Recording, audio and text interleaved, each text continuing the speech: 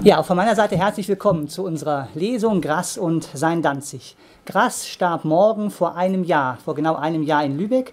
Geboren wurde er in Danzig-Langfuhr. Danzig zählt zu den Kernregionen unseres Sammlungs- und Forschungstätigkeit hier im Herder-Institut für historische Ostmitteleuropa-Forschung. Und deshalb möchten wir uns heute mit Grass und eben Danzig beschäftigen. Es kann nur eine Auswahl sein, was wir Ihnen bieten. Eine Auswahl vor allem aus historisch-politisch-regionalem Interesse, konzentriert auf Danzig und die deutsch-polnischen Beziehungen. Bei Google finden Sie allein 600.000 Treffer zu Grass. Wir haben davon etwas ausgewählt, um Ihnen einen doch nicht allzu langen Abend dann heute zu bestreiten. Wir möchten einige Auszüge lesen aus seinen Werken, die in über 12 Millionen Exemplaren vorliegen, in ganz vielen Sprachen übersetzt. Heute können Sie in Danzig auf Grass Spuren wandern oder Straßenbahn fahren nach seinen Werken. Wir möchten Sie zu einer kleinen literarischen Reise einladen. Den Anfang, wie meine Kollegin sagte, sollen einige Äußerungen von Grass selbst machen, so wie er Danzig sah, außerhalb eben ähm, seiner ähm, Werke. Hans Markus Enzensberger schrieb einmal beim Erscheinen von Katz und Maus, dem zweiten Band der ähm, sogenannten Danziger Trilogie, Schauplatz ist Danzig, hier wie in der Blechtrommel. Dass diese Stadt in die deutsche Literatur Einzug hält, erst jetzt, da sie den Deutschen endgültig verloren ist, darin liegt mehr als eine historische Ironie. Eine Eroberung wie diese setzt den Verlust voraus. Die große Danzig-Saga ist eine Suche nach dem verlorenen Raum, unerreichbar und unerschöpflich, doch deutlich wie Vineta in der Luft liegt Danzig auf dem Grund der Graschen Prosa da. Oder wie Grass selbst es gesagt hat, mir kam es darauf an, eine Stadt erstehen zu lassen. Und da war Danzig das Naheliegende für mich. Danzig kannte ich und Danzig wollte ich auch für mich wieder neu erstehen lassen. Wie ja überhaupt Literatur man kann so viel reden, wie man will, in erster Linie eine Angelegenheit des Autors ist. Und die Erinnerung an Danzig war bei mir, bevor ich das Buch, er meint die Blechtrommel, geschrieben habe, recht schwach. Sie ist erst mit dem Schreiben wieder neu entstanden. Wir sehen jetzt hier auf einigen Folien Danzig, Sie hatten es eben schon in der Architektur gesehen, einige herausragende Gebäude, die Marienkirche, den Stockturm, der auch in seinen Werken immer wieder vorkommt, von dem aus er die Scheiben des Theaters zersungen hat, dann die Gesamtansicht mit dem Krantor. Wir haben jetzt danach die Folie ähm, Polen, um Danzig einzuordnen, auch geografisch, für die, die nicht so firm sind in der Geografie, an der Ostsee gelegen. Durch die polnischen Teilungen kam es eben dann an Preußen. Und auf der nächsten Folie sehen wir das mal von der anderen Sicht, eben innerhalb des Deutschen Reiches, um auch die Perspektiven abschätzen zu können. Wo hat Danzig eigentlich seinen Platz äh, gefunden? Wenn wir noch eine Folie weitergehen, sehen Sie hier die Situation in Polen, ähm, das eben neu entstand nach dem Ersten Weltkrieg. Und in der kleinen Karte diese Exklave, der Freistaat, der Reichsstaat, Freien Reichsstaat Danzig, die ja eben maßgeblich ähm, den, den Hintergrund geliefert hat für die Blechtrommel und die folgenden ähm, Romane. Also praktisch als Keil zwischen eben dem, oder der polnische Korridor trennt eben Danzig vom Reich und gleichzeitig alle, die nach Ostpreußen fahren wollten, mussten eben über das polnische Territorium fahren, um ins Reich ähm, zu kommen. Das nächste Bild soll nur kurz einige Daten Ihnen vor Augen führen, die immer wieder vorkommen werden, bei denen, wenn man äh, Gras liest. Polen eben neu gegründet nach dem Ersten Weltkrieg, dann eben die fünfte polnische Teilung im Zweiten Weltkrieg mit den ähm, Daten wie äh, Katyn, dem Ghettoaufstand, dem Warschauer Aufstand. Dann nach 1945 wurde Polen eben Teil des Ostblocks, also sowjetisch ähm, beherrscht und erst 1989 konnte sie das sowjetische ähm, Regime abschütteln und seit da rechnet eben die sogenannte ähm, dritte äh, polnische Republik. Namen wie eben Masowiecki stehen für die erste freie polnische ähm, Regierung. Geboren wurde Günther Wilhelm Grass am 16. Oktober 1927 in Danzig-Langfuhr. Er zählt als der deutsche Schriftsteller, Bildhauer, Maler und Grafiker, der die den deutschen Roman eigentlich nach in den 50er Jahren auf Weltruhm äh, geführt hat und die Blechtrommel zählt bis heute eigentlich zum ähm, ja, weltweit bekanntesten, was in Deutschland ähm, geschrieben wurde. Äh, Grass, geboren in äh, Danzig-Langfuhr, äh, schreibt darüber, es war einmal eine Stadt, die hatte neben den Vororten Ora, Scheidlitz, Schiedlitz, Oliva, Emmaus, Praust, St. Albrecht, Schellmühl und dem Hafenvorort Neufahrwasser einen Vorort, der hieß Langfuhr.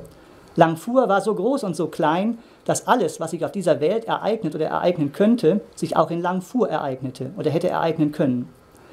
In Langfuhr lag eigentlich auch die Quelle meiner Literatur begraben und vergraben, hier in Danzig-Langfuhr, in Verhältnissen, die ich später zu beschreiben versucht habe, in kleinbürgerlichen Verhältnissen. Seine Familie besaß dort einen Kolonialladen, den allein meine Mutter unter dem Namen Helene Grass geschäftstüchtig führte. Der Vater Wilhelm, Willi gerufen, dekorierte das Schaufenster, kümmerte sich um Einkäufe bei Grossisten und beschriftete Preisschilder. Der Laden ging mäßig bis schlecht. An jeder Straßenecke gab es Konkurrenz.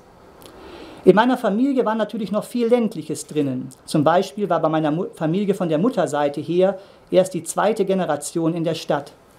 Ich, so schreibt er, bin ein typisches Mischprodukt aus dem Deutschen, Kaschubischen. Das ist spürbar. Dann kommt man gar nicht auf diese dumme Idee, sich national zu begreifen.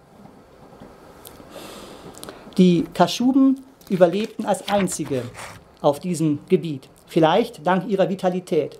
Sie mussten all die Völkerwanderungen durch ihre Gebiete überleben. Etwas von ihrer Vitalität steckt auch in mir, eben dieses Kaschubentum. An anderer Stelle, Während meines Besuches in Danzig treffe ich meine Verwandten, die weiterhin dort wohnen. Zwei von meinen Freunden arbeiten in der Danziger Werft, viele sind Bauern. Intellektuelle sind in meiner Familie in der Minderheit. Ich habe nie behauptet, dass ich die Polen kenne. Ich muss zugeben, ich habe Schwierigkeiten, die Deutschen kennenzulernen. Meine Mutter war katholisch und hat sich, wie das so oft ist, als der stärkere Teil durchgesetzt. Meine Schwester und ich, wir sind auf eine recht lockere Art katholisch aufgewachsen. Es bestand zum Beispiel kein Zwang, jeden Sonntag zur Kirche zu gehen. Meine Mutter sah das gern, aber sie machte das auch nicht jeden Sonntag. Und ich bin im katholischen Sinn gläubig gewesen bis zum 19. Lebensjahr oder bereits mit dem 14. Da fing es an abzubröckeln. Dann sehen wir auf dem nächsten Bild seine Volksschule, die Pestalozzi-Volksschule, und auf dem nächsten dann das Konradinum. Ich durfte, wie es hieß, aufs Gymnasium gehen, trug die traditionelle rote Gymnasiastenmütze geschmückt mit dem goldenen C und meinte Grund zu haben, hochnasig stolz zu sein, weil Schüler einer namhaften Lehranstalt, der die Eltern mühsam abgespartes Schulgeld in Raten zahlen mussten. Einer wie Malke, der Held von Katz und Maus, jemand aus meinem Jahrgang, der das deutsche Gymnasium damals erlebt hat, schon mit den vornarzistischen deutschnationalen Ausrichtungen der Erziehung zum Heldenwesen, der ist natürlich nicht das Porträt eines bestimmten Schülers, da haben viele unfreiwillig Modell gestanden. Er schreibt über seinen Vater in dieser Zeit. Mein Vater ist der typische opportunistische Mitläufer gewesen. Der ist 1936 in die Partei eingetreten. Ich habe ihn dann hinterher mal gefragt, lange nach dem Krieg, und er sagte, weil die Konkurrenz eintrat, habe sich das nahezu zwangsläufig ergeben. Und er habe auch das Gefühl gehabt, in einer großen Zeit zu leben. Da müsste man dabei sein. Grass wird mit zehn Jahren freiwillig Jungvolkmitglied und schreibt, er wollte weg aus dem kleinbürgerlichen Mief familiärer Zwänge. Ich bin, wie die meisten in Danzig, freiwillig ins Jungvolk gegangen. Das hatte einen ungeheuren Reiz. Ich bin gern zu diesen Jungvolkveranstaltungen gegangen, ins Zeltlager etc. Während die Hitlerjugend mit ihren Kameradschaftsabenden schon langweilig war. Da gab es schon Intrigen zwischen Ehrgeizlingen, auch die Orientierung zur Partei hin wurde überdeutlich.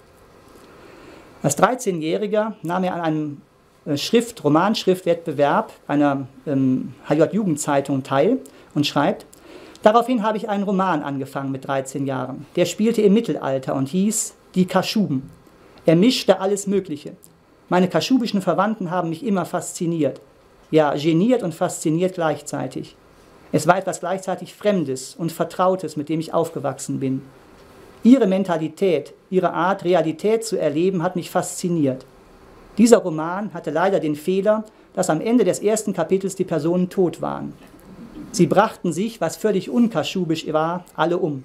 Und es widerstrebte mir, sie als Geister auftreten zu lassen. So blieb es bei diesem einen Kapitel.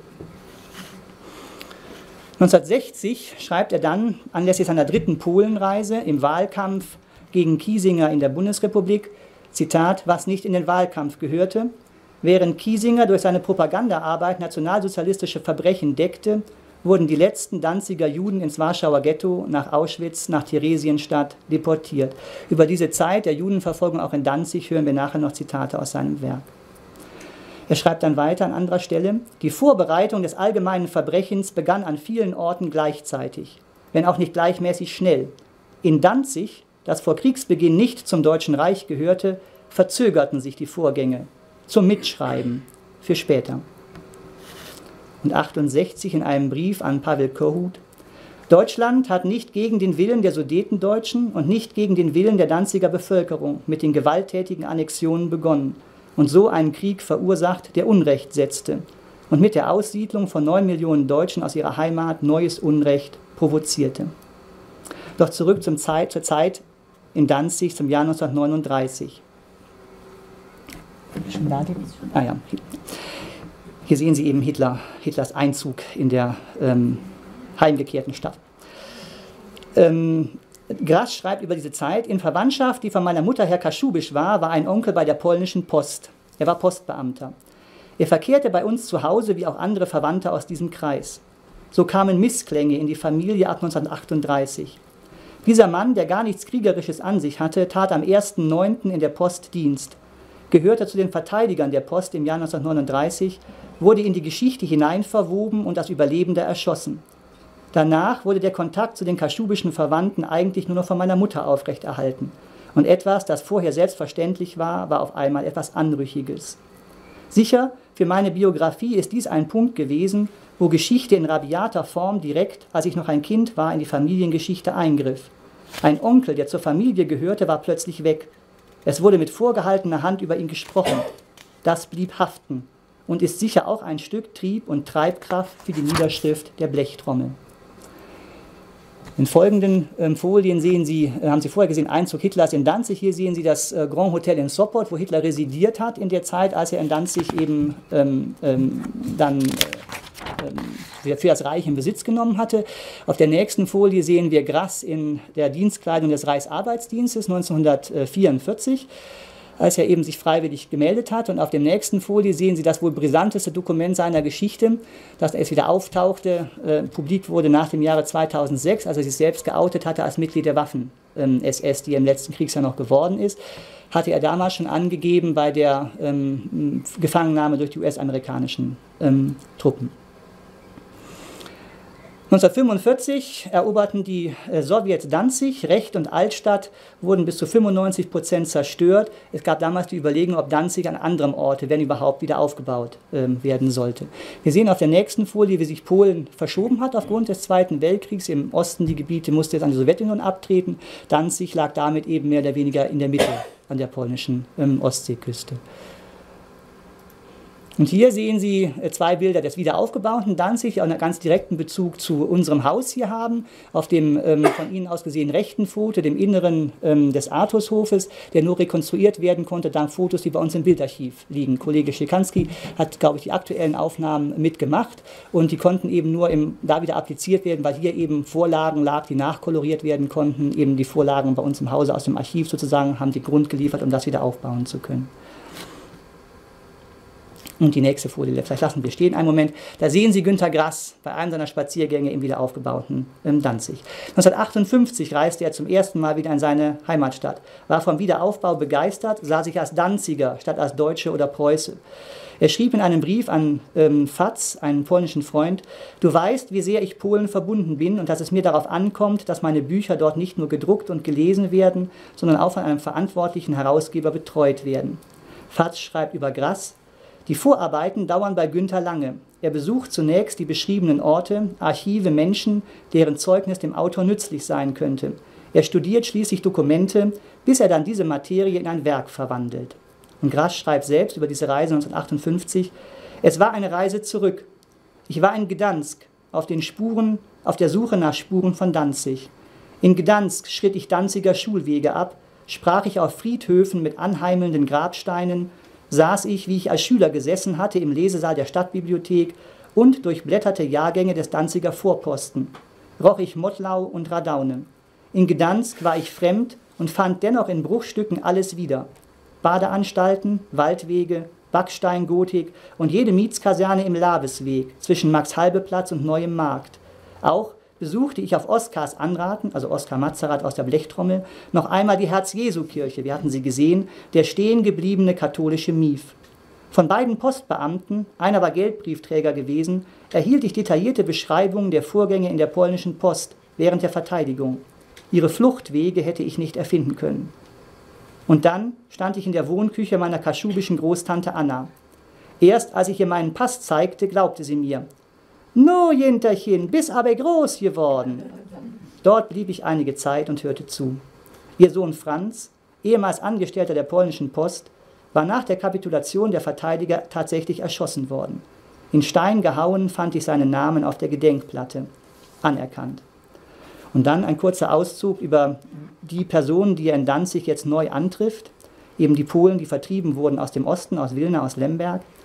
Wenn ich vor ihnen über meine eigenen Gefühle sprach, verstanden sie mich. Sie waren genauso wie ich heimatlos, hatten ihre Heimat verloren oder das, was sie darunter verstanden. Wir sehen hier das berühmteste Werk, eben die Blechtrommel in zwei verschiedenen Ausgaben vom ähm, Cover hier. Schon 1979 war eine polnische Übersetzung des Werkes ähm, fertig, die aber nicht erscheinen durfte. Die Zensur hat es verboten. Ein Grund dafür war die Darstellung der Verteidigung der polnischen Post in der die Polen eine nationale Ehrenrührigkeit erkannten. Doch viel wichtiger war, was die Zensur äh, kritisiert hat, die Darstellung der sowjetischen Eroberer von Danzig. Und ganz konkret eben die ähm, Zeilen, die schildern die Vergewaltigung der deutschen Bevölkerung und interessanterweise ganz konkret äh, sowjetische Rotarmisten, die geschildert werden eben mit Ungeziefer, was ihnen über den Uniformkragen läuft. Und sowas kann es in der ruhmreichen Sowjetarmee natürlich nicht ähm, gegeben haben. Grass hat sich geweigert, die Stellen zu streichen, deswegen durfte sein Werk eben bis in die 90er Jahre offiziell nicht erscheinen. Erst 79 im Untergrund haben die Polen es ähm, veröffentlicht.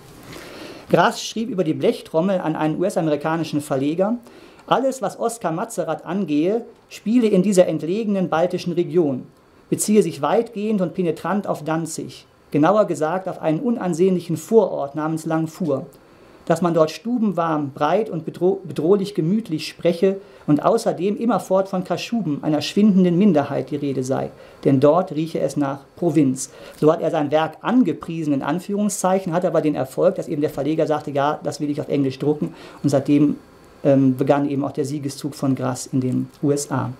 Über das Werk schreibt ähm, Grass weiter, Paul Celan, mein Freund, machte mir Mut, fiktive Gestalten wie Feingold, Sigismund Markus und Eddie Amsel, keine edlen, sondern gewöhnliche und exzentrische Juden in meine kleinbürgerliche Romanwelt einzufügen. Wenige Jahre später, 61, folgte dann die Novelle Katz und Maus und dann eben der nächste Teil ähm, der Trilogie Die Hundejahre. Auf dem Folie vorher sahen wir eine äh, Szene aus dem Film, der Verfilmung von Der Blechtrommel mit ähm, unter Schlöndorffs ähm, Regie. Grass schreibt über diese drei Werke der Danziger Trilogie, Blechtrommel, Katz und Maus und Hundejahre. Soweit ich mich auf mein eigenes Leben zurückerinnern kann, finde ich weder in der Blechtrommel noch in der Novelle Katz und Maus Passagen aus meinem Leben. Ich habe auch nicht die Absicht, etwas Autobiografisches zu erzählen und glaube auch nicht, dass es möglich ist. Dennoch bin ich der Überzeugung, dass er sehr viel autobiografische Erfahrung verarbeitet hat in seinen Werken, aber er selbst sah es eben ähm, anders. Grass selbst begleitete dann im Jahr 1970 Willy Brandt nach Warschau zur Unterzeichnung des Warschauer Vertrages als einer der eben herausragenden deutschen Intellektuellen, die sich eben für Polen äh, freundschaftlich interessierten. Hier sehen wir auf einem Bild mit Willy Brandt. Und ähm, im nächsten Bild dann, das zeigt das Denkmal an den, ähm, die Toten bei der, ähm, ähm dem Aufstand in, in Danzig 1970 äh, ein Denkmal, das eben später erst im Jahr 1980 dann unter Solidarność ähm, erstellt wurde. Grass schreibt über den Dezember 1970, äh, dass ich im Dezember 1970, als es die großen Streikbewegungen in polnischen Hafenstädten und vor allen Dingen in Gdansk gab, großen Stolz verspürte. Ich hatte das Gefühl, es sind meine Leute. Ich identifizierte mich, obgleich ich ein Deutscher bin, mit dem, was hier in Gdansk geschah. Und das war so etwas wie ein erweitertes Heimatgefühl. 1975 wirkte er damit an dem norddeutschen Rundfunksfilm Teure Geschichte von Volker Petzold über den Wiederaufbau der Altstadt von Danzig. 1979 erschien die erste Blechtrommel und Übersetzung im Untergrund. Er schreibt darüber, inzwischen besitze ich die zweibändige polnische Blechtrommelausgabe und zeige sie stolz herum. Nun ist es endlich doch dazu gekommen. Allerdings eben, wie gesagt, noch im Untergrund. 1980 kam dann Solidarność-Bewegung in Danzig. Er hat sich darum bemüht, kurzfristig danach mit Valenza einen Gesprächstermin zu erhalten. Sie sehen hier ein Foto aus späterer Zeit nachdem die Differenzen wegen seiner SS-Mitgliedschaft beigelegt wurden, Valenza ihm also wieder die Hand reichte und er die Ehrenbürgerschaft von Danzig auch ähm, behalten hat.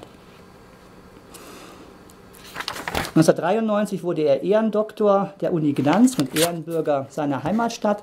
Und 2006, wie gesagt, war diese äh, kurze Zwischenepisode, wo eben unter anderem Wałęsa forderte, er solle diese Ehrenbürgerschaft zurückgeben, weil er eben sich als SS-Mitglied geoutet hatte. In Danzig selbst sprachen sich damals über zwei Drittel der Bevölkerung dafür aus, dass er die Ehrenbürgerschaft behalten solle, weil eben diese Mitgliedschaft nichts daran an seinem literarischen Verdienst gerade um Danzig eben ähm, mindere. Seit 2009 gibt es dann in Danzig ein Günther im Grass-Museum. Wir sehen auf der nächsten Folie den Danziger Hauptbahnhof. Einige von Ihnen werden ihn kennen. Wenn wir noch eine Folie weitergehen, in diesem Hauptbahnhof gibt es eine Plakette, ähm, eben die ein Zitat aus der Blechtrommel auf Polnisch ähm, enthält. Und das kann, mag jetzt eine Weile stehen bleiben. Ich möchte jetzt noch einige Zitate von Grass vorlesen, wie er eben Danzig als Inspiration für seine Werke ähm, sieht. Danzig ist für mich fast die ganze Welt. Danzig liegt wie Vineta auf dem Meeresgrund. Ich glaube, nichts kann die verlorene Heimat ersetzen. Mit Danzig verbinden mich Kindheit und Jugend. Das Thema Danzig werde ich nie verlassen. Ich habe über Danzig schreiben können, weil ich es als Heimat für immer verloren habe. 1988 schreibt er in der polnischen Zeitschrift Politica, ich wusste, dass das weg ist, Danzig. Da war ein Vakuum. Eine Unruhe und ein Ahnen, das wird mir fehlen. Bei mir war sehr früh die politische Erkenntnis da, dass das auf begründete Art und Weise verloren ist durch deutsche Schuld. Das ist im 20. Jahrhundert preisgegeben worden durch eine verbrecherische Politik, die getragen wurde von den Deutschen. Aber damit, dass das alles geografisch und politisch verloren war, war nicht gesagt, dass es ganz und gar weg sein musste. Das war auch ein Antrieb, mir zumindest literarisch, mir schreibend, das wiederherzustellen, was verloren war. Danzig ist für mich eine verlorene Stadt, verloren wegen deutscher Schuld, als Konsequenz eines historischen Prozesses. Seit 1958 ist für mich nicht mehr Danzig, sondern Gdansk, die Stadt, in die ich wieder gern wiederkehre, in der ich meine Verwandten und Freunde habe. Ich bin kein Chronist dieser Stadt, aber sie hat einen festen Platz in meinen Büchern.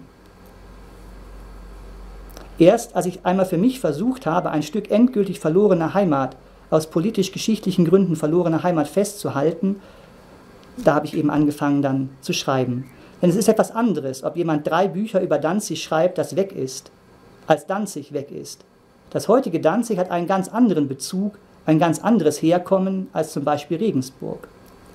Und viele Leser haben dann Grass berichtet, so schreibt er, nachdem sie seine Trilogie gelesen haben, weil das, was in Danzig lang fuhr und was mit Danzig lang fuhr passierte, auch für Breslau und die Vororte von Breslau zutreffen könnte und für Königsberg oder Stettin, so erklärte sich eben die große Leserschaft.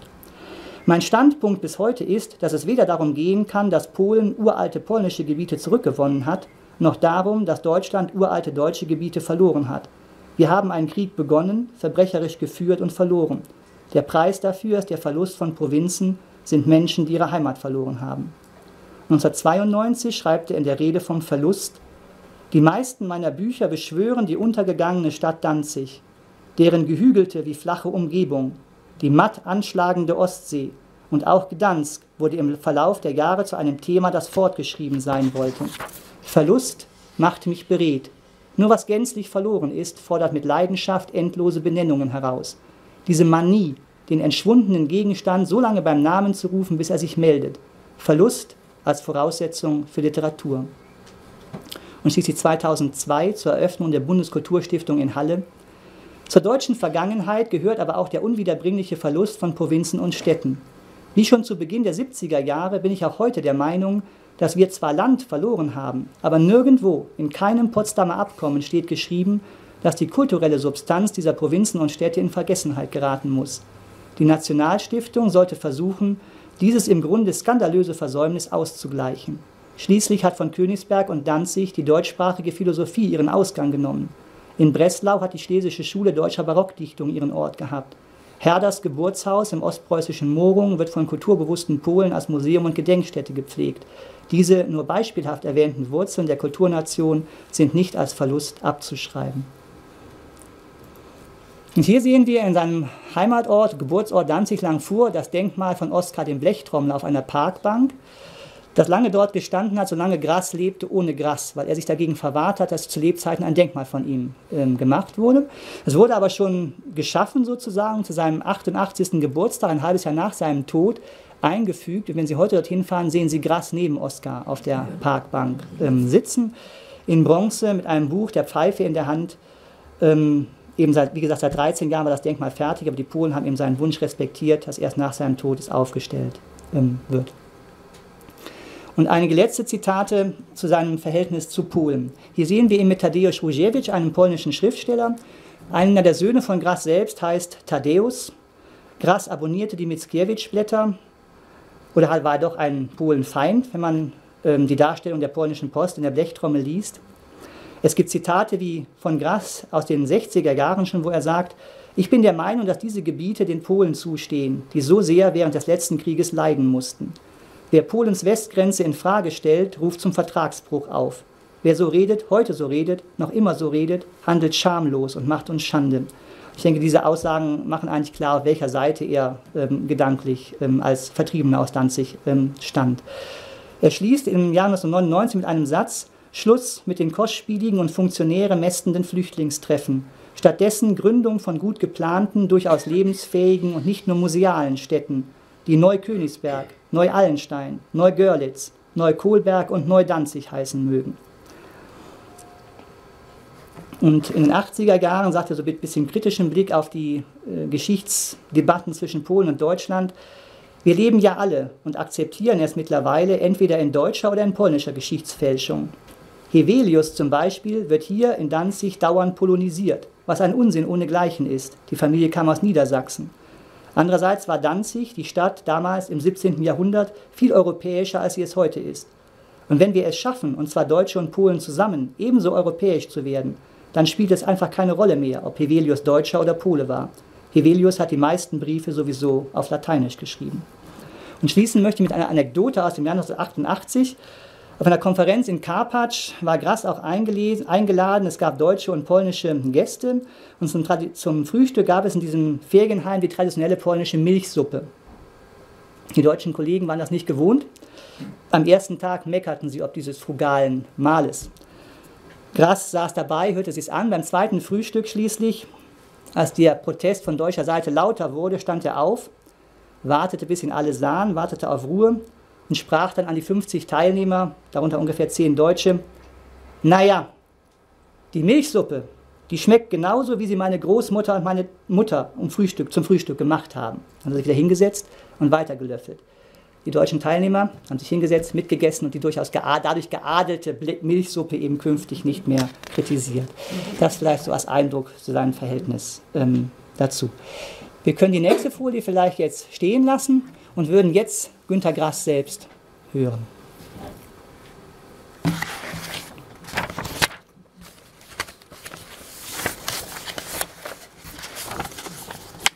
Das ist einem der Anfangskapitel der Blechtrommel.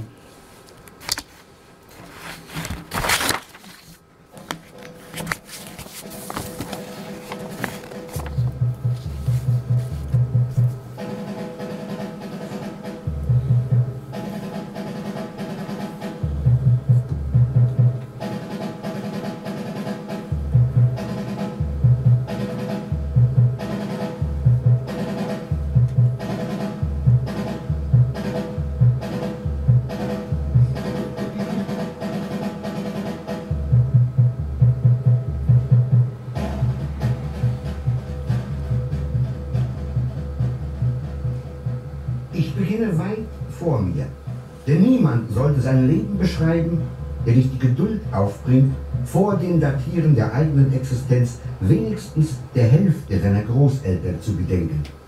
Ihnen allen, die sie außerhalb meiner Heil- und Pflegeanstalt ein verworrenes Leben führen müssen, euch Freunden und allen wöchentlichen Besuchern, die ihr von meinem Papiervorrat nichts ahnt, stelle ich Oskars Großmutter mütterlicherseits vor.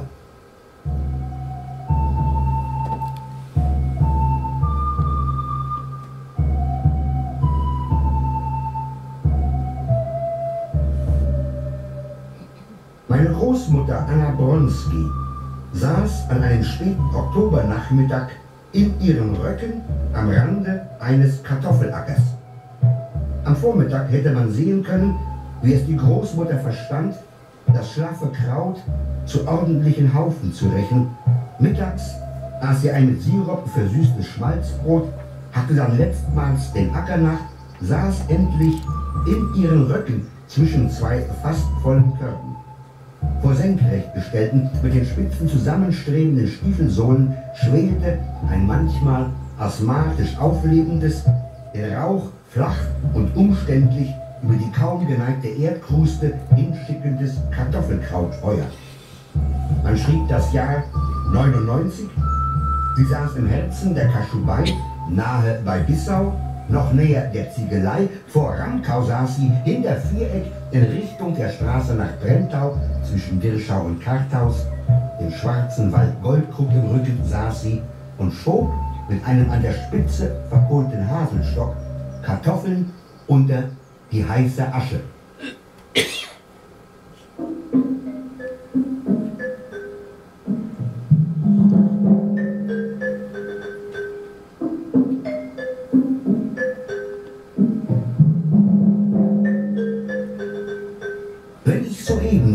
Meiner Großmutter besonders erwähnte, hoffentlich deutlich genug sagte, sie saß in ihren Röcken. Ja, das Kapitel Der weite Rock überschreibe, weiß ich was ich diesem Kleidungsstück schuldig bin.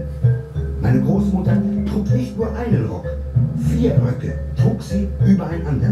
Nicht etwa, dass sie einen Ober- und drei Unterröcke getragen hätte. Vier sogenannte Oberröcke trug sie, ein Rock trug den nächsten, aber trug alle vier nach einem System, das die Reihenfolge der Röcke von Tag zu Tag veränderte. Was gestern oben saß, saß heute gleich darunter. Der zweite war der dritte Rock, was gestern noch dritter Rock war, war ihr heute der hautnahe.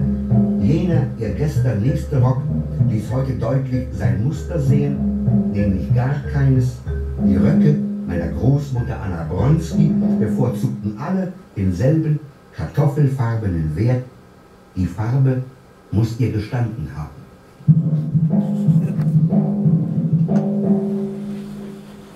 Außer dieser Farbgebung zeichnete die Röcke meiner Großmutter ein flächenmäßig extravaganter Aufwand an Stoff aus.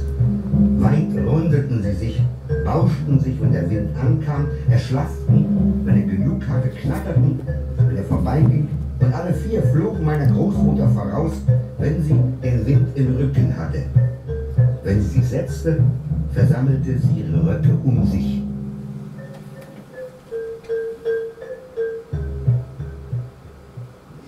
Ja, so viel Originalton Günter Grass. Ich weiß nicht, wer von Ihnen die Chance hatte, ihn noch lebendig mal gehört zu haben.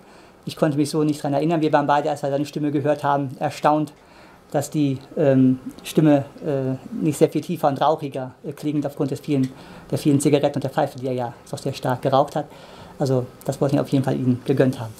Ja, er hat selbst gelesen aus seinem Werk Der Blechtrommel. Wir fahren jetzt vor mit einem längeren Passage, so wie er die Danziger Geschichte sieht aus dem Butt.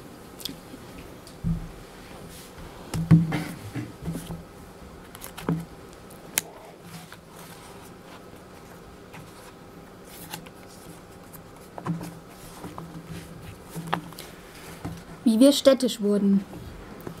Um die Zeit, als Mestwiener im Suff und doch zielgerecht den Bischof Adalbert erschlug, siedelten im Gebiet der mündenden Weichsel außer uns altansässigen Pomorschen am linken Ufer und östlich des, den östlich des Flusses sesshaften Prußen nur Restbestände durchreisender Völker, ziemlich mit uns zur Suppe verrührt. Gepietschte Goten, eingewanderte Sachsen, die vor dem Bekehrungseifer der Franken geflohen waren.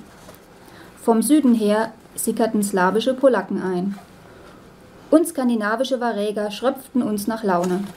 Sie bauten überall Fluchtburgen gegen prutzische Einfälle und konnten doch nicht verhindern, dass sich die Prutzen westlich der Flussniederung festsetzten. Ihr Häuptling hieß Jagel, eine Vorform des litauischen Jagello. Deshalb hieß der Hügel später, als die Stadt gegründet war, Hagelsberg. Schon zu Mestwinas Zeit hatten sich einige Varäger als pomorsche Fischer, Fischer verkleidet und den Jagel in seiner Raubburg erschlagen. Doch erst als der Polackenherzog die Brutzen aufs rechte Weichselufer zurückwarf, wurde die Varägerherrschaft durch die polakische ersetzt. Denn kaum hatte Mestwina jenen Adalbert erschlagen, den der Polenherzog als Agitator angeworben hatte, wurden wir untertan und blieben es. Der Herzog ließ den wundertätigen Leichnam nach Gnesen überführen, wo er bis heute verehrt wird. Unser Land wurde zur Provinz erhoben und nach uns, weil wir am Meer wohnten, Pomerellen genannt. Uns, die Pomorschen, nannte der fromme Herzog freundlich herablassend Kaschuben. Wir durften eigenständige Statthalter einsetzen, die sich rasch männliche Herrschaftsformen abguckten, obgleich sie alle auf Mestwinas Schoß zurückzuführen sind. Namentlich bekannt wurde als erster unser Stammesfürst Sambor, der das Kloster Oliva gestiftet und mit Vorrechten, Zollfreiheit, Erhebung des Zehnten ausgestattet hat. Sein Sohn war ein mickriges Kerlchen, das bald starb. Darauf wurde dessen Onkel, der erste Mestwin, pomerellischer Kaschubenfürst. Gerade noch konnte, seine Tochter Damroka zur, konnte er seine Tochter Damroka zur Äbtissin machen und unter ihrer Aufsicht jenes Kloster Zuckau stiften, in dem knapp 600 Jahre später Amanda Woike die Gesindeküche der preußischen Staatsküche führte, als die Dänen Pomerellen überfielen und für zehn Jahre in Besitz nahmen. Beide Herzöge lieferten sich nach Männerart eine Schlag-Totschlacht in der Nähe von Gnesen, die Svantopol gewann und Leschko das Leben kostete. Als aber nun der unabhängige Kaschubenherzog die immer noch heidnischen und die Weichsel als Grenze missachtenden Prutzen erfolglos bekämpfte, machte er den gleichen Fehler wie die Polen. Auch er rief nach Ende, die nach Ende der Kreuzzüge arbeitslos gewordenen Deutschritter aus Palästina ins Kaschubenland. Sie kamen und räumten mit allem, was putzisch war, auf. Schließlich schlugen sie auch den Swantopolk mehrmals. Dessen erstgeborenen Sohn nahmen sie gefangen. Wieder freigelassen, verbündete er sich mit den brandenburgischen Herzögen. Darauf setz, setzten sich die Brandenburger bei uns fest und mussten mit polakischer Hilfe aus jener Stadt Danzig vertrieben werden, die vom großen Swantopolk im Jahre 1236 als Kivitas Danzig neben der pomerellischen Burg gegründet und mit lübischem Recht ausgestattet wurde. Main Danzig, von Anfang an umstritten. Wir Pomorschen, Fischer und Korbflechter blieben im Schutz der Burg auf dem alten Hakelwerk und aßen wie immer schon Grütze zu Fisch und Fisch zu Grütze, während die zumeist niedersächsisch, niedersächsischen Neusiedler, Handwerker und Händler sich hinter den Stadtmauern niederließen und Schweinswürste zu dicken Bohnen aßen.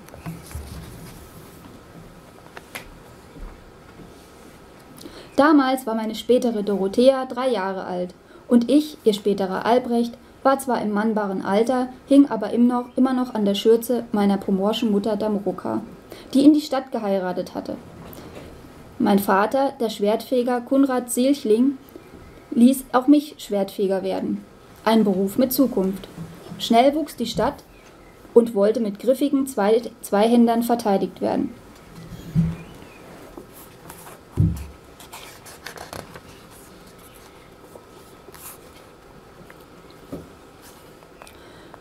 Er macht jetzt einen zeitlichen Sprung zu den Dreharbeiten des Dokumentarfilms für den NDR. Ich war am Vormittag von Berlin-Schönefeld aus mit einer Interflug-Propellermaschine eingeflogen und auf dem neuen Flugplatz dort gelandet, wo vor drei Jahren noch die kaschubischen Kartoffeläcker meiner Großtante mäßig erträglich gewesen waren. Was ich im Gepäck hatte, Manuskriptlücken, noch ungedeckte Behauptungen über mein Vorleben, zur Zeit der hochgotischen Fastenköchin, zur Zeit der Küchenmarkt mit den barocken Allegorien. Und die Wünsche meiner Ilsebill. Und außerdem hatte ich einen Fragenkatalog bei mir, denn ich wollte mich abseits der Fernsehfilmerei mit Maria treffen, die immer noch Kantinenköchin in der Leninwerft ist. Hör mal, Maria, wie war das im Dezember 70? War dein Jan dabei, als 30.000 Arbeiter vor dem Parteigebäude aus Protest gegen die Partei Die Internationale gesungen haben? Wo stand er genau, dein Jan, als die Miliz auf die Arbeiter schoss. Und wo traf es ihn? Mit Drehbeginn wurde alles flach gegenwärtig. Historische Zitate. 1813, der Brand der Speicherinsel, blieben Zettelchen zum Wegwerfen. Wir hatten unsere drei Lampen, die Tontechnik und die Kamera wieder eingerichtet. Im Tresorsaal des Rechtsstädtischen Rathauses. Bei aller Fach Faktensicherheit stand der Stadtkonservator ein wenig verlegen zwischen den getäfelten Wänden und den ölgemalten holländischen Sündenpfuhlgemälden. Hinter ihm hing das über geradlinigen Bildrund halbrund gerahmte Bild des Stadtmalers Anton Möller, der Zinsgroschen. Jesus und sein neutestamentarisches Personal stehen manieristisch bewegt dort, wo eigentlich der breite Renaissancebau des Grünen Tores, gotisch Kockentor, den langen Markt vor dem Mottlauufer abschließen sollte. Zum Rathaus hin verjüngt sich der Markt in die leicht gekrümmte Langgasse hinein bis zum Hohen Tor. Möller malt diese Allegorie vor städtischer Kulisse, sogleich nach dem jüngsten Gericht im Jahr 1602, das wie das Vorjahr ein Pestjahr gewesen ist. Direkt in die Kamera schaut der Konservator, offenbar geübt. Nie rettete er die eine, die andere. Sparsam mit Gesten ist er Möllers Gemälde, ein Dokument und ein wichtiges für den Wiederaufbau entlang gefahren. Er vergleicht es mit Canalettos Gemälden, die beim Wiederaufbau der Warschauer Altstadt hilfreich gewesen seien. Erstaunlich nannte er den im Bild überlieferten Beweis, dass noch zu Beginn des 17. Jahrhunderts fast alle Patrizierhäuser am Langen Markt gotisch gemauert und gegiebelt waren, außer dem Artushof und dem breiten Bürgerhaus im Renaissance-Stil, dem Rathaus gegenüber. Der Konservator lech erklärt lächelnd, warum man nicht die gotische, weniger kostenintensive Frühform, sondern keinen Aufwand scheuend die barocke Fassadenkunst nachgebaut habe. Und da geben ihm mitten im Satz die drei Lampen den Geist auf. Die elektrische Anlage des wiederhergestellten rechtsständigen Rathauses ist überlastet. Es wird der Hauselektriker gerufen. In Erwartung des Elektrikers und weil das Filmen fürs Fernsehen so viel zeitlose Pausen abwirft, verkrümelte ich mich geschichtlich treppab, bis ich im fortgeschrittenen 17. Jahrhundert die Küchenmarkt des alternden Stadtmalers Müller schwanger über den langen Markt kommen sah. Agnes Kobiela hat ein Suppenhuhn ungerupft gekauft. Eigensinnigerweise ist es Winter, obwohl wir die Fernsehdokumentation Ende August bei schönstem Wetter inmitten des Touristenauftriebs treten. Im Januar des Jahres 1636 ist Agnes hochschwanger. König Wladimir hat im grünen Tor Wohnung genommen und so ist die Stadtgeschichte datiert. Dort plaudert er mit dem schlesischen Diplomaten und Dichter Martin Opitz von Boberfeld. Der König will ihn als Sekretär und Hofhistoriograph in Dienst nehmen. Auch der Admiral der polnischen Flotte, ein Schotte namens Seaton, ist anwesend. Desgleichen hiesige Patrizier, die feist aus den steifen Halskrausen schauen. Nachdem der Waffenstillstand mit Schweden verlängert worden ist, soll Opitz im Auftrag des Königs über die Neufestsetzung der Seezölle verhandeln.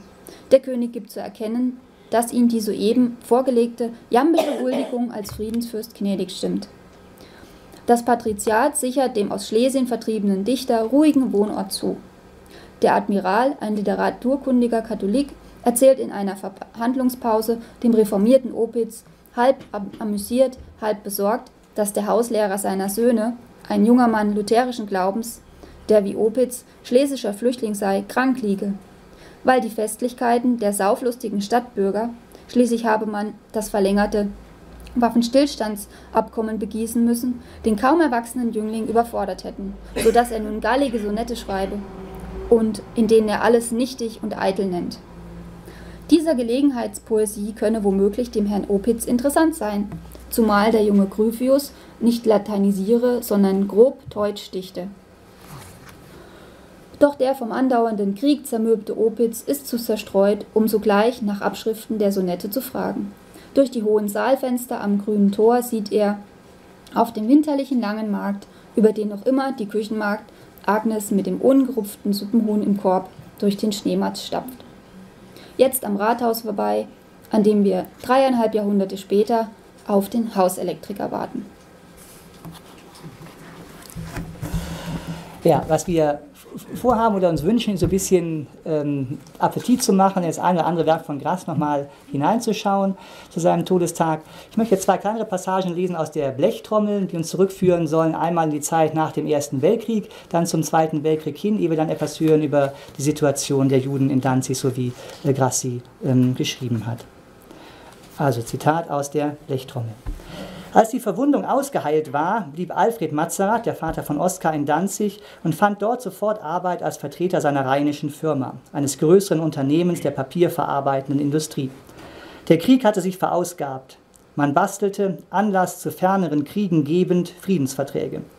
Das Gebiet um die Weichselmündung, etwa von Vogelsang auf der Näherung, der Nogat entlang bis Piekel, dort mit der Weichsel abwärts laufend bis Schatkau, links einen rechten Winkel bis Schönfließ bildend, dann einen Buckel um den Saskoschiner Forst bis zum Ottominer See machend, Matern, Ramkau und das Bissau meiner Großmutter liegend lassend und bei Katz die Ostsee erreichend, wurde zum freien Staat erklärt und dem Völkerbund unterstellt.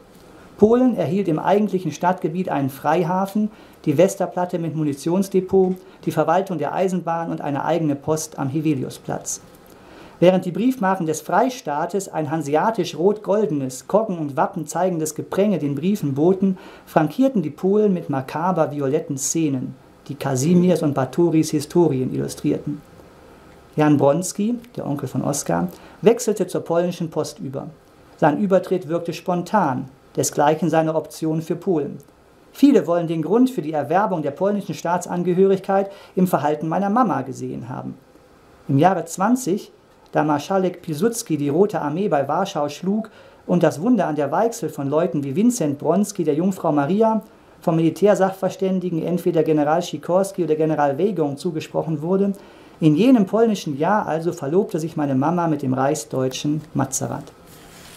Und das zweite Zitat, auch aus der Blechtrommel, führt uns in die 30er Jahre, in dem Oskar einen, ja, die Rückfahrt eigentlich seiner Mutter von dem Rendezvous mit Jan Bronski aus der Danziger Altstadt nach Danzig-Langfuhr beschreibt.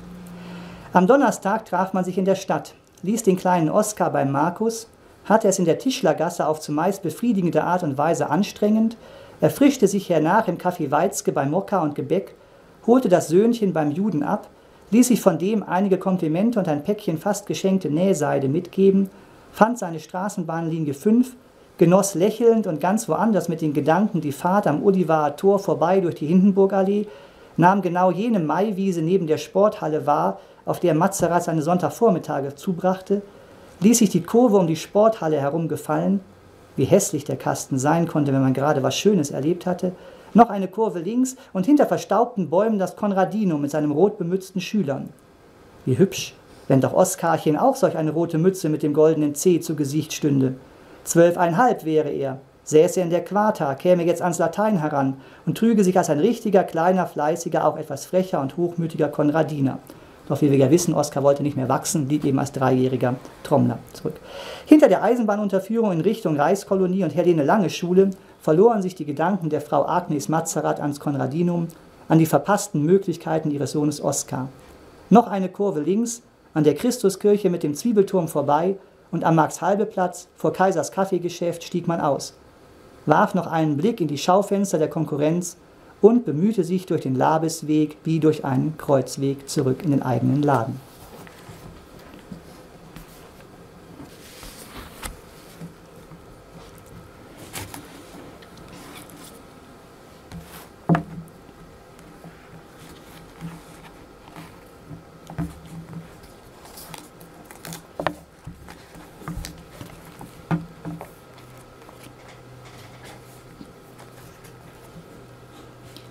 Ab August des folgenden Jahres waren Überfälle auf die Synagoge Mattenbuden und eingeworfene Fensterscheiben im Haus der Borussia-Loge am Olivar Tor alltäglich.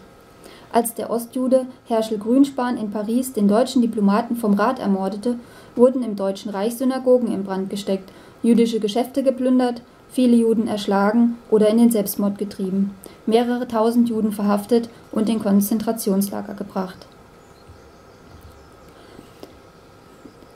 Hermann Ott hat in seinem Schulbuch, Sudelbuch nur dazu Lichtensteiner Kürzel gesetzt. Zitat: Die Reichskristallnacht ist eine geräumige Metapher. Als wir von Selma Lagerlöf Kindheitserinnerungen lasen, schickten wir einen Brief und ein Album mit Bildern von Danzig an die Dichterin. Herr Ott und Fräulein Mettner bereiteten mit uns eine Lagerlöf-Feier vor. Die sogenannte Kristallnacht vom 9. November 1938 fand auch in Danzig ihre Entsprechung. Die Synagogen in Langführ und Sopot wurden in Brand gesteckt. Nur die große Synagoge an der Reitbahn blieb unbeschädigt, weil einige Mitglieder des jüdischen Frontkämpferbundes, unter ihnen der Weltkriegsveteran Isaac Laban, einen Wachdienst eingerichtet und mit Hilfe des Rechtsanwalts Bernhard Rosenbaum Polizeischutz angefordert hatten, als SA-Männer das Haupttor aufbrechen wollten. Am nächsten Tag reiste Rosenbaum mit seiner Frau zur Erholung nach Südfrankreich. In Nizza verschlechterte sich sein Gesundheitszustand. Mit seiner Rückkehr war nicht mehr zu rechnen. Schriftlich legte er sein Amt als zweiter Gemeindevorsteher nieder, doch seine Tochter blieb und auch Hermann Ott unterrichtete weiter, obgleich immer weniger Schüler in die Rosenbaumsche Schule kamen. Knapp 4000 Juden wohnten Ende November in der freien Stadt Danzig.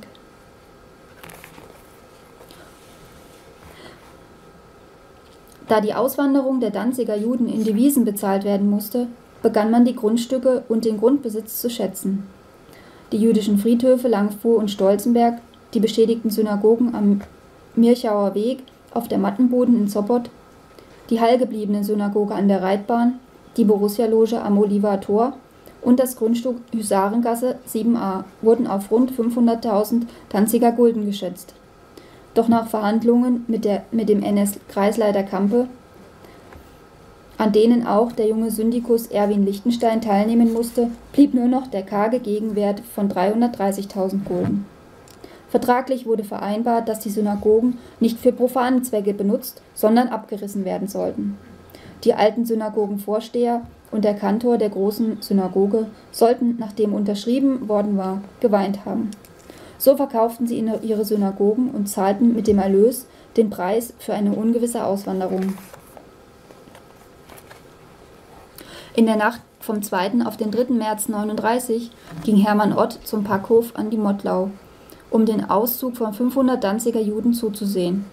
Am Sammelplatz fanden sich als Zuschauer ein zurückbleibende Verwandte und Freunde der 500, leitende Polizeibeamte, der englische Generalkonsul, der bei der Vorbereitung des Transports geholfen und gleichzeitig vor der illegalen Einwanderung in das Mandatsgebiet Palästina gewarnt hatte. Nur die beiden zurückgelassenen jüdischen Ärzte, zwei Sanitäter der zum Judenkommissar ernannte Sparkassendirektor Bittner, mehrere Polizeibeamte und der Vertreter der jüdischen Gemeinde durften den Transport bis zum Einschiffungshafen begleiten. In Autobussen sollten die Auswanderer über die Freistaatsgrenze nach Marienburg gebracht werden, dann in einem plombierten Zug über Breslau, Wien, Budapest in die Hafenstadt Reni am Schwarzen Meer transportiert werden. Dort, so hieß es, dass ein 800 Tonnen Frachtschiff die 500 übernehmen würde. Von einem Ziel war offiziell nicht die Rede. Als nach der Einschiffung der 500 die Reisebegleiter nach Danzig zurückgekehrt waren, gab Heinz Kaminer den Gemeindevorstehern einen Bericht. Mit Bretterverschlägen habe man den Frachter auf die Übernahme von Personen vorbereitet. Im Vorderschiff habe man die Männer, im Achterschiff die Frauen untergebracht. Als sich die Auswanderer in Gruppen vor Autobussen versammelt hatten, sagte Studienassessor Ott noch zu seinen Schülern: Schreibt mal von unterwegs oder sobald ihr angekommen seid. Und Simon Kurzmann, dessen gleichmäßige Schülerleistungen als Beweis für, Schu für Zuverlässigkeit gelten mochten, versprach, einen Bericht zu geben.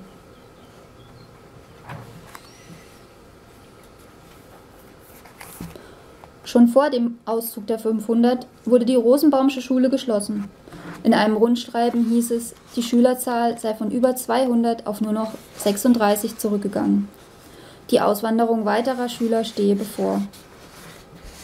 Ende Februar hatten noch acht Schüler und Schülerinnen ihr Abitur machen können.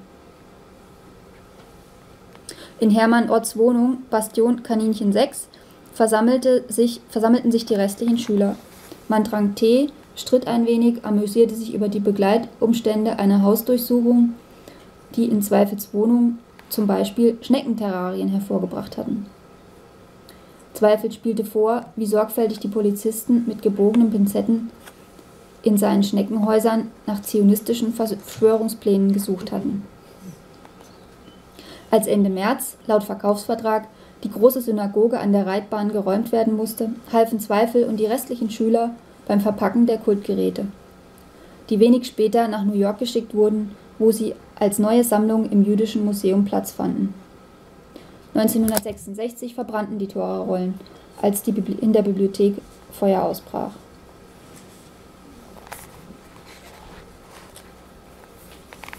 Nur wenige der über 100 Kinder haben ihre Eltern wiedergesehen. Vor einigen Tagen, auf Wahlreise nach Paderborn, Meschede, Schwelm und Enmetal begleitete mich ein englischer Journalist, der vorhatte, für den Observer einen Bericht zu schreiben. Nach einer Betriebsbesichtigung und als wir wieder in unserem VW-Bus saßen, deutete er an, dass ich doch in Danzig aufgewachsen sei und wie ich bei Kriegsbeginn knapp zwölf Jahre alt gewesen sei. So alt wie ihr Franz und ihr Raoul war der englische Journalist, der mit einem der vier Kinder die Kindertransporte aus Danzig verließ. In einem Studienassessor Ott, an einen Studienassessor Ott konnte er sich nicht mehr erinnern, aber an die Stadt, die Giebel, die Kirchen, die Gassen, die Beischläge und die Glockenspiele. Möwen auf Eisschollen, die über dem Brackwasser dahinschaukelten. Im Halbdunkel wie zerbrochenes Spielzeug heil geblieben. Eine kurze Passage hat ähm, Grass in Katz und Maus dem KZ Stutthof gewidmet. Oswald Brunis, sein, der Lehrer von Malke am Konradinum, war naschhaft, den Süßigkeiten verfallen und wurde später angeblich, weil er Vitamintabletten, die den Schülern ausgeteilt werden mussten, an sich genommen haben soll, wahrscheinlich aber aus politischen Gründen, Brunis war Freimaurer, im Schulgebäude verhaftet. Schüler wurden verhört. Ich hoffe, nicht gegen ihn ausgesagt zu haben. Seine Pflegetochter, ein puppiges Wesen, das Ballettstunden nahm, trug trauerschwarz durch die Straßen. Sie brachten ihn nach Stutthof. Dort verblieb er. Eine dunkle, verzweigte Geschichte, die an anderer Stelle doch nicht von mir und auf keinen Fall im Zusammenhang mit Malke niedergeschrieben werden soll. Dann machen wir einen zeitlichen Sprung in das Jahr 1945, als die sowjetische Armee sich Danzig genähert hat. Ich lese aus der Blechtrommel. Es hieß, die Russen seien schon in Zigankenberg, Pietzgendorf und vor Schiedlitz. Jedenfalls mussten sie auf den Höhen sitzen, denn sie schossen schnurstracks in die Stadt.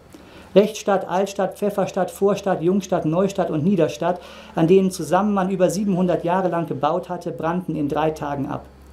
Das war aber nicht der erste Brand der Stadt Danzig. Pomerellen, Brandenburger Ordensritter, Polen, Schweden und nochmals Schweden, Franzosen, Preußen und Russen, auch Sachsen hatten zuvor schon Geschichte machend alle paar Jahrzehnte die Stadt verbrennenswert gefunden.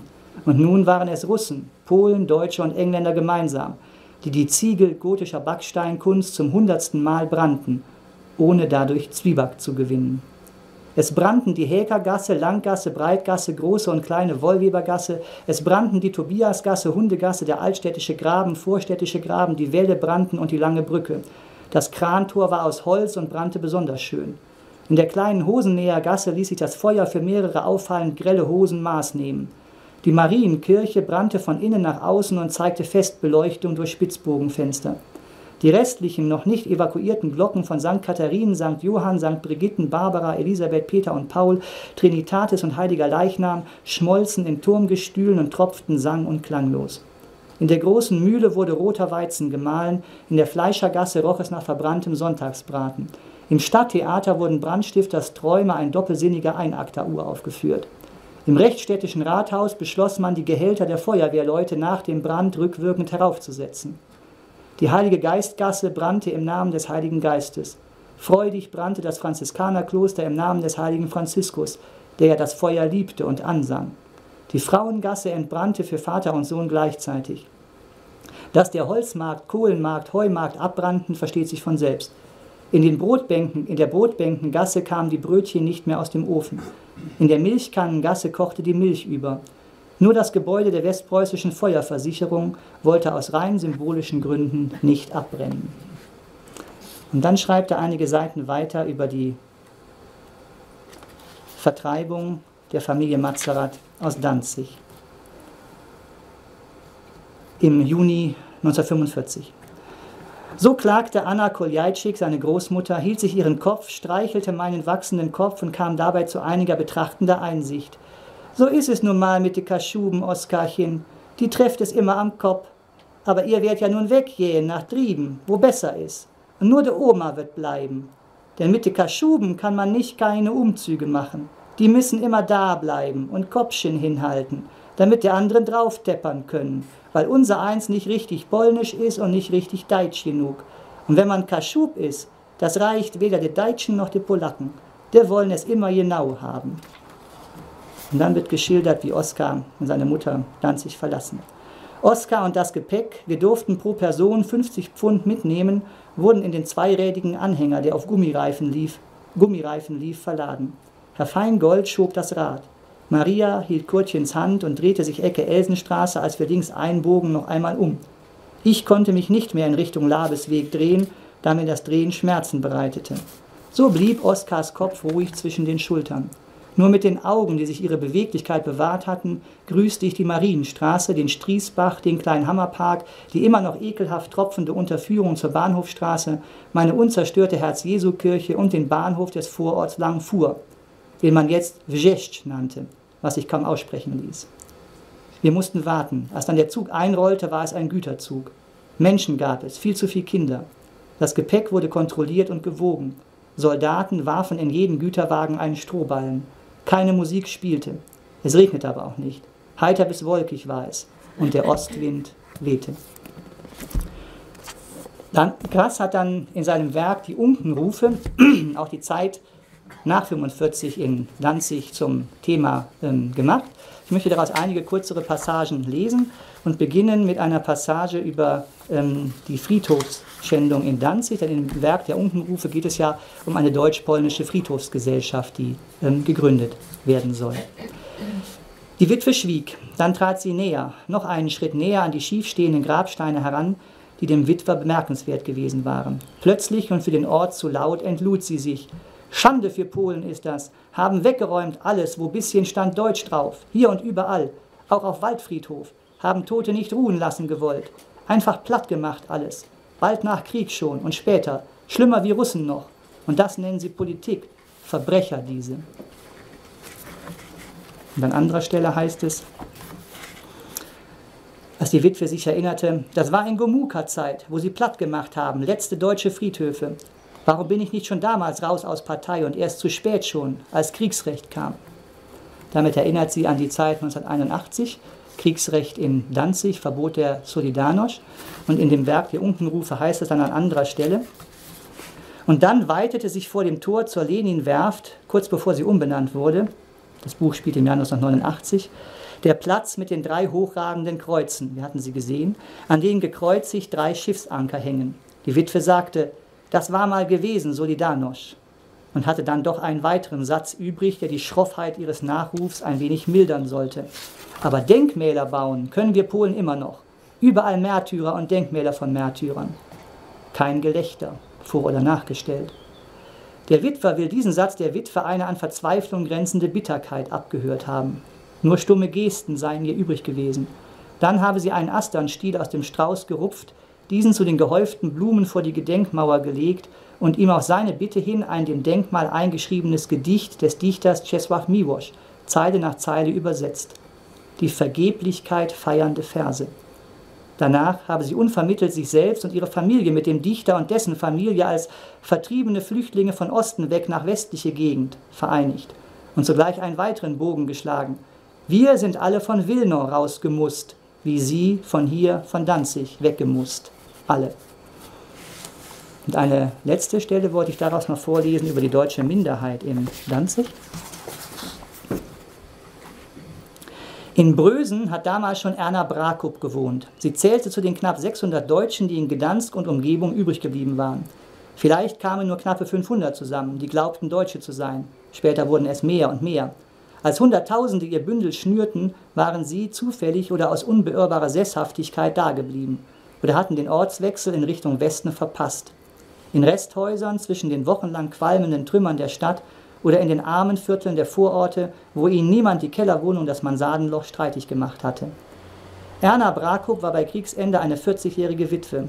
Ihre drei Kinder starben im Seuchenjahr 46 an Typhus. Sie übte sich rasch ein notdürftiges Umgangspolnisch ein und hielt ihr Zimmer in dem Kur- und Fischerdorf, das man Bjesno hieß, wie einen Bunker, als rechts und links von ihrer Karte sowie beiderseits der Straßenbahnlinie nach Novi Port kastenförmige Neubauten hochgezogen wurden. Solange noch das Kurhaus baufällig stand, half sie als Kellnerin aus. Später fand sie Arbeit beim Konsum. Ab Mitte der 60er Jahre hatte sie ihre Rente durch Botengänge, Schlange stehen vorm Fleischerladen und ähnliche Dienstleistungen aufgebessert. Nur mit ihresgleichen oder wenn Touristen kamen und nach dem Verbleib des Seestegs und der Badeanstalt fragten, sprach sie in immer seltsamer werdenden Ausprägungen ihre Muttersprache. Als nach der Wende in Osteuropa allen in Polen gebliebenen Deutschen erst zögernd, dann doch erlaubt wurde, sich in einem Verein zu finden, war Erna Brakup nicht nur passiv dabei. Im Jeschkenthaler Weg erstritt sie einen Versammlungsraum für die knapp 300 Organisierten, die alt und unnütz geworden nicht wussten, wie ihnen plötzlich geschah. Jetzt durften sie sogar singen. Waldeslust, am Brunnen vor dem Tore oder mitten im Winter, der Mai ist gekommen. Das schreibt er, wie gesagt, im Jahre 1989. Und zum Schluss dachte ich, lese ich noch einen Auszug aus, dem, aus der Blechtrommel, der nochmal das zusammenfasst, was wir heute über Danzigs Geschichte ähm, in der Sicht von Grass gehört haben. Zuerst kamen die Rugier, dann kamen die Goten und Gepiden, sodann die Kaschuben, von denen Oskar in direkter Linie abstammt. Bald darauf schickten die Polen den Adalbert von Prag. Der kam mit dem Kreuz und wurde von Kaschuben oder Prutzen mit der Axt erschlagen. Das geschah in einem Fischerdorf und das Dorf hieß Gdanitz. Aus Gdanitz machte man Danzig, aus Danzig wurde Danzig, das sich später Danzig schrieb und heute heißt Danzig Gdansk. Bis man jedoch zu dieser Schreibart gefunden hatte, kamen nach den Kaschuben die Herzöge von Pomerellen nach Gdanitz. Die hatten Namen wie Subislaus, Sambor, Mestwin und Svantopolk. Aus dem Dorf wurde ein Städtchen. Dann kamen die wilden Prutzen und zerstörten die Stadt ein bisschen. Dann kamen die Brandenburger von weit her und zerstörten gleichfalls ein bisschen. Auch Boleslaw von Polen wollte ein bisschen zerstören und der Ritterorden sorgte gleichfalls dafür, dass die kaum ausgebesserten Schäden unter den Ritterschwertern wieder deutlich wurden. Ein zerstörerisches und wiederaufbauendes Spielchen treibend, wechselten sich jetzt mehrere Jahrhunderte lang die Herzöge von Pomerellen, die Hochmeister des Ritterordens, die Könige und Gegenkönige von Polen, Grafen von Brandenburg und die Bischöfe von Włocławek ab. Baumeister und Abbruchunternehmer hießen Otto und Waldemar, Bogussa, Heinrich von Plotzke und Dietrich von Altenberg, der die Ritterburg dorthin baute, wo man im 20. Jahrhundert am Heveliusplatz die polnische Post verteidigte. Es kamen die Hussiten, machten hier und da ein Feuerchen und zogen wieder ab. Dann warf man die Ordensritter aus der Stadt, brach die Burg ab, weil man in der Stadt keine Burg haben wollte. Man wurde polnisch und fuhr nicht schlecht dabei. Der König, der das erreichte, hieß Kazimierz, wurde der Große genannt und war der Sohn des ersten Władysław. Dann kam Ludwig und nach dem Ludwig die Hedwig. Die heiratete den Jagiello von Litauen und es begann die Zeit der Jagiellonen. Auf Wladislaw II. folgte ein dritter Władysław, dann wieder mal ein Kazimierz, der aber keine rechte Lust hatte und dennoch 13 Jahre lang gutes Danziger Kaufmannsgeld im Krieg gegen den Ritterorden verpulverte. Johann Albrecht hatte dagegen mehr mit den Türken zu tun dem Alexander folgte Sigismund der Alte oder auch Sigmund Stari genannt. Dem Geschichtsbuchkapitel über Sigismund August folgt das Kapitel über jeden Stefan Báthory, nach dem die Polen gerne ihre Ozeandampfer benennen. Der Belagerte beschloss, beschoss die Stadt längere Zeit, wie man nachlesen kann, konnte sie aber nicht einnehmen. Dann kamen die Schweden und benahmen sich auch so. Denen machte das Belagern der Stadt einen solchen Spaß, dass sie es gleich mehrmals wiederholten. Auch gefiel zu jener Zeit Holländern, Dänen, Engländern die Danziger Bucht so gut, dass es mehreren ausländischen auf der Danziger Rede kreuzenden Schiffskapitänen gelang, zu Seehelden zu werden. Der Friede zu Oliva, wie hübsch und friedlich das klingt. Dort bemerkten die Großmächte zum ersten Mal, dass sich das Land der Polen wunderbar fürs Aufteilen eignet. Schweden, Schweden, nochmal Schweden, Schwedenschanze, Schwedentrunk, Schwedensprung. Dann kamen die Russen und die Sachsen, weil sich in der Stadt der arme Polenkönig Stanisław Leszczynski verbarg. Wegen des einen einzigen Königs wurden 1800 Häuser zerstört. Und als der arme Leschinski nach Frankreich floh, weil dort sein Schwiegersohn Ludwig wohnte, mussten die Bürger der Stadt eine Million blechen. Dann wurde Polen dreimal geteilt. Die Preußen kamen ungerufen und übermalten an allen Stadttoren den polnischen Königsadler mit ihrem Vogel. Es hatte der Schulmeister Johannes Falk gerade noch Zeit, das Weihnachtslied Odo Fröhliche zu dichten, dann kamen die Franzosen. Napoleons General hieß Rapp und an den mussten die Danziger nach einer elenden Belagerung 20 Millionen Franken berappen. Dass die Franzosenzeit eine schreckliche Zeit war, muss nicht unbedingt bezweifelt werden. Sie dauerte aber nur sieben Jahre. Da kamen die Russen und Preußen und schossen die Speicherinsel in Brand. Schluss war es mit dem Freistaat, den sich Napoleon ausgedacht hatte. Abermals fanden die Preußen Gelegenheit, ihren Vogel an alle Stadttore zu pinseln und besorgten das auch fleißig. Zu Burkhards, Rauschnings und Greisers Zeiten gab es im Freistaat nur die grüne Schutzpolizei. Das wurde 39 unter Forster anders. Da waren alle Backsteinkasernen wieder voller fröhlich lachender Männer in Uniform, die mit allen Waffen jonglierten.